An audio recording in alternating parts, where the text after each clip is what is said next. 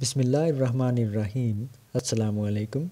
In this tutorial, you will learn how to download a protein sequence in FASTA from the website of Protein Data Bank PDB.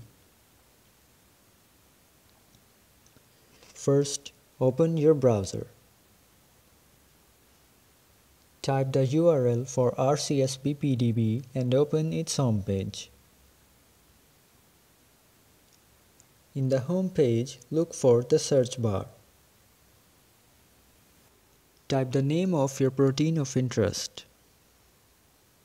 Here we have typed the name of SARS-CoV-2 spike protein. Then press enter. Click and open your required protein from the list of results.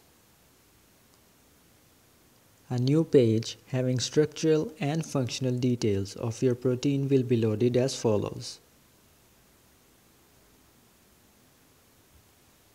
In the top right corner of this page, look for the Download Files option and then select FASTA sequence from the submenu. The FASTA sequence of your protein of interest will be downloaded and you can view it using applications like Microsoft Word or Notepad in your system.